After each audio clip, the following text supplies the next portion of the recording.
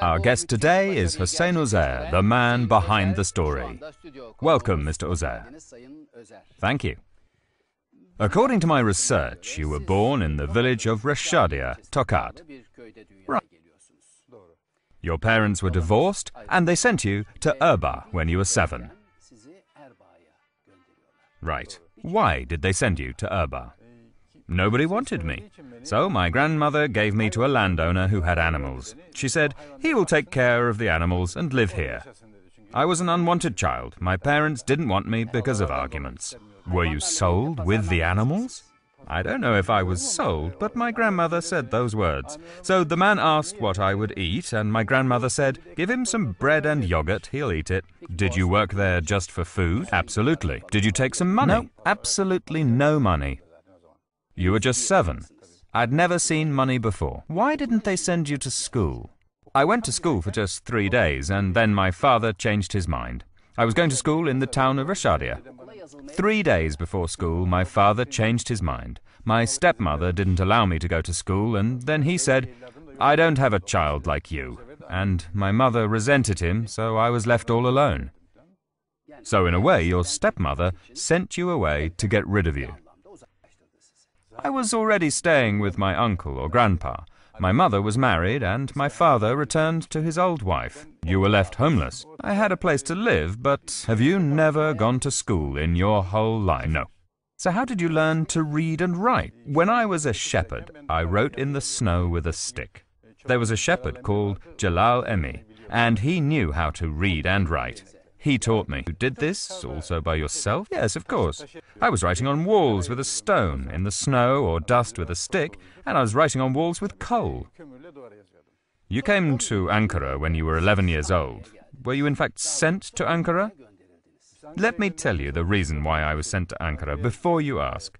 My mother was very upset because I was disowned. I was an illegitimate child, so her husband bought me a ticket. I went to Ankara to earn some money in order to kill my own father. I went to Ankara to earn money to buy a gun. In order to kill your father. My mother told me to. I was going to do it. Everyone was saying the same thing.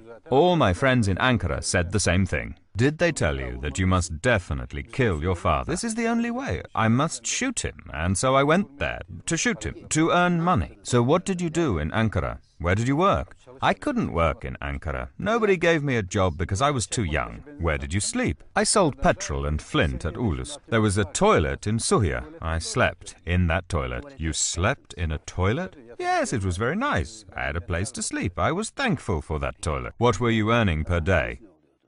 I was making 75 kurus per day, and I had made a deal with an offal butcher. I was eating one liver sandwich every 24 hours. It was enough for me. I couldn't buy meatballs because it was one lira.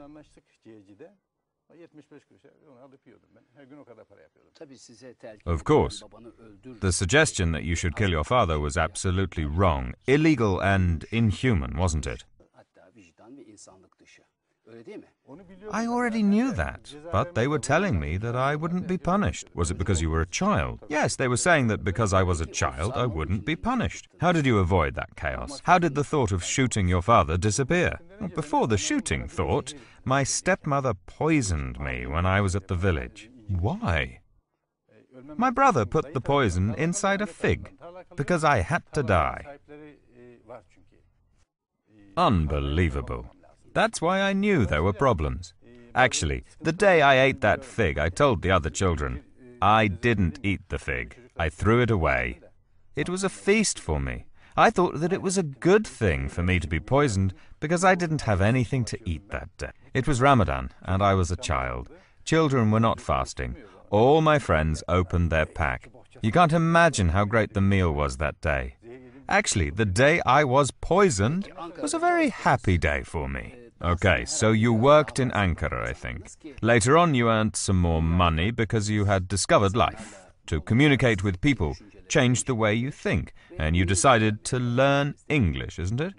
Right. I decided to learn English when I was in a coal cellar in Izmet Pasha because I was working at a bar. Someone gave me a job at a bar. What were you doing in a coal hole? I went there to rent a room. I thought that I was rich. There was money in my pocket. It was the first time I had money. A lady told me that with that amount of money, I could only rent a coal hole. Now I know that she was making fun of me. But I rented that coal hole. We carried the junk out, and the lady gave me a few lamps. All the decisions of my life were made in that room, and of course I learnt English because there was a bed and a lamp. Who taught you English? I decided to learn English at that time. I became Muslim. I bought Quran language books because I was going to bookstores and they were telling me to choose a book. I didn't know how to choose a book. And then I found parts of the Quran on the streets. I'm a good Muslim, a good Turk, but I was confused. Why a good Turk? Why a good Muslim? There was no one better than us. I wondered if rocks were falling on other people's heads. I had to know, so I had to learn English. Who taught you English? I was a footboy. I found a teacher, a retired colonel.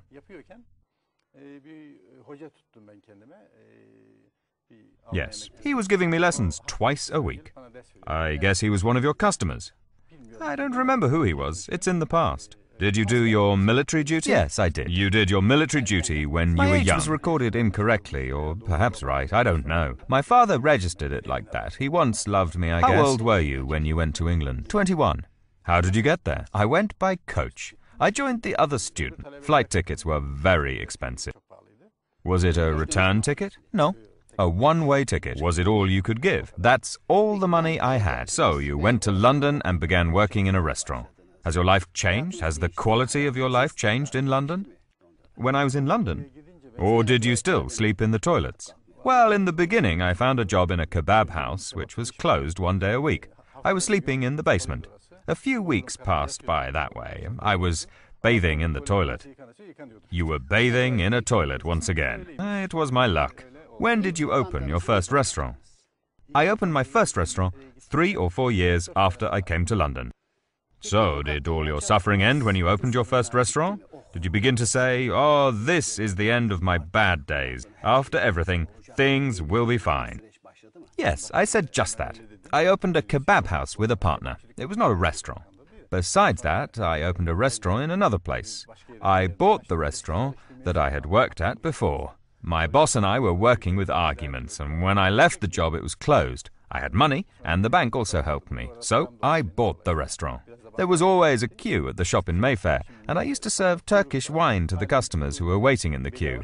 For 30 years, this place had been full, so there was always a queue in front of the place. Did you face any special difficulties specific to England? The entire problem began then. What was that? Misery. The things that you mention never upset me because I had a good life, I had a good job. But when there was a line in front of the restaurant in England, the misery began. A big trouble. That line must have made you happy. Somebody was taking money from me? Protection money. Of course. The big problem began there. From that day, my troubles never ended. Protection money for the mafia? Yes, of course. What had the mafia done? Playing with my staff because I was not afraid. There was no use in being afraid. If it would have been a solution, I would have been afraid of them. They were threatening the staff, and the staff was poisoning the customers. They poisoned the customers? Of course. I had trouble with my customers, and then my staff became their men. They told me that I was not able to enter my own restaurant. Restaurants increased. For example, they were saying, he cannot enter that place. And so you overcame those problems, and you still do. You've become the owner of a chain of seven restaurants. According to the Discovery Channel's research, you now own $60 million. You have aristocratic friends, you ride horses, play golf, go hunting, you own a Ferrari. You're living in a luxury neighborhood. Now, have you achieved all your goals? Never. What is it? You have a place on the world's richest people program? Productivity is happiness. I like to read. I like to make friends. I love the world. It's a nice world. I want to find my peace in this world. What are you planning to do next? To live a better life, to be more useful to people, to represent my country better. About my documentary, I've asked them over and over why they chose me. They told me plenty of times, you are the brand of Turkey. A brand represents Turkey in London. Yes, thank God we stopped serving kebab. Would you think about doing something about homeless children? I am helping to educate children. I am helping them when they're very young. Everyone is beginning when they're at high school or university. My only luxury is helping to educate children. Because when I was a child, I worked, earned money, and bought land. Then I sold that land and I opened a foundation. People open foundations after they've gotten rich in order not to pay taxes. You have a foundation? This is my luxury. Did you start the foundation to educate children? Yes, I sold my land to open that foundation. Congratulations. My first aim is to help educate children. Please, whatever happens, continue what you're doing. I hope this dream will come true and that you will help as many children as you can. This is my wish. I hope my wishes come true and I can be useful. It will come true. I hope I can represent Turkey better abroad. I want to educate more children. I'm working hard at doing more useful things. Thank you very much. I thank you. I wish you all a pleasant evening. Good night.